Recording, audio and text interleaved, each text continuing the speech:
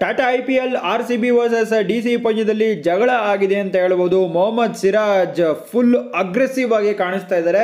ಅವರು power ಪ್ಲೇಯಲ್ಲಿ bowling ಮಾಡೋದಕ್ಕೆ ಬಂದರು. ಡೀಸೆಂಟಾಗಿ ಬೌಲಿಂಗ್ ಮಾಡ್ತಿದ್ರು. ಯಾವಾಗ ಮತ್ತೊಂದು ಓವರ್ ಮಾಡೋದಕ್ಕೆ ಬಂದರು. ಆವಾಗ ಫಿಲಿಪ್ ಸಾಲ್ಟ್ ಅವರು ಫೋರು, ಸಿಕ್ಸು, ಫೋರ್ಗಳನ್ನು ಬಾರಿಸಿದ್ರು ಮೊಹಮ್ಮದ್ ಸಿರಾಜ್ಗೆ. ಆಗ ಒಂದು ಬೌನ್ಸರ್ನ ಹಾಕಿದ್ರು ಫಿಲಿಪ್ ಸಾಲ್ಟ್ ಅವ್ರಿಗೆ.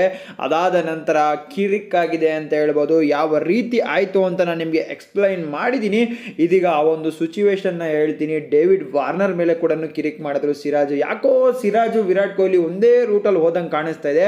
ಇವತ್ತು ಡೆಲ್ಲಿ ಕ್ಯಾಪಿಟಲ್ಸ್ ತಂಡ ಸೂಪರ್ ಆಗಿ ಪರ್ಫಾರ್ಮೆನ್ಸ್ ಕೊಡ್ತಾ ಇದ್ದಾರೆ ಅಂತ ಹೇಳ್ಬೋದು. ಈ ಒಂದು ದೃಶ್ಯ ನೋಡಿ ಡೇವಿಡ್ ವಾರ್ನರ್ಗೂ ಕೂಡ ವಾರ್ನಿಂಗ್ ಕೊಡ್ತಾ ಇದ್ದಾರೆ ಮೊಹಮ್ಮದ್ ಸಿರಾಜ್ ಅವರು. ಫಿಲಿಪ್ ಸಾಲ್ಟ್ಗೆ ಹೇಳ್ತಾ ಇದ್ದಾರೆ. ಆ ಒಂದು ಬೌನ್ಸರ್ ಹಾಕಿದ್ರು ಮೊಹಮ್ಮದ್ ಸಿರಾಜ್ ಅವರು. ವೈಡ್ ಆಯಿತು. ಫಿಲಿಪ್ ಸಾಲ್ಟ್ ಅವರು ಮೊಹಮ್ಮದ್ ಸಿರಾಜ್ ಅವ್ರಿಗೆ ಗರಂ ಮಾಡಿಸಿದ್ದಾರೆ ಅಂತ ಹೇಳ್ಬೋದು. ಅದಕ್ಕೆ ಮೊಹಮ್ಮದ್ ಸಿರಾಜ್ ಅವರು ಕೈ ಬೆರಳನ್ನ ತೋರಿಸ್ತಾ ಇದ್ದಾರೆ ಡೇವಿಡ್ ವಾರ್ನರ್ಗೆ. ಇದೆಲ್ಲ ನಮ್ಮ ಹತ್ರ ಇಟ್ಕೊಬೇಡಿ ನಾವು ಆರ್ ಸಿ ಬಿ ಟೀಮು, ಕೊಟ್ಟೆ ಕೊಡ್ತೀರಿ ವಾಪಸ್ಸು ಅಂತ. ಯಾಕೋ ಮೊಹಮ್ಮದ್ ಸಿರಾಜ್ ಅವರು ಗರಂ ಆದಂಗೆ ಅನ್ಸಿದ್ರು. ಫಿಲಿಪ್ ಸಾಲ್ಟ್ ಮತ್ತು ಡೇವಿಡ್ ವಾರ್ನರ್ ಅವರ ಮೇಲೆ ಜಗಳ ಮಾಡಿದ್ರು ಅಂತ ಹೇಳ್ಬೋದು.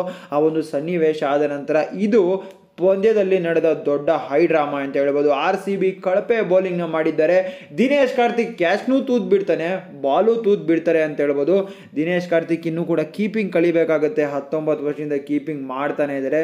ಎಂ ಎಸ್ ಧೋನಿ ವೃದ್ಧಿಮಾನ್ ಸಹ ಥರ ಅವರು ಮಾಡಲೇಬೇಕು. ಇದು ಜಗಳ ಯಾವ ರೀತಿ ಆಯಿತು ಅಂತ